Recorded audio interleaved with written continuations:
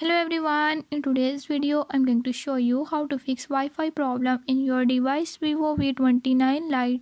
In this device Vivo V29 Lite, if Wi-Fi is not working, I'll tell you few tips and tricks that you can use to fix it. Before I start, if you are new to my channel, don't forget to subscribe and press bell icon. Watch complete video and learn how you can do it. Let's watch the video.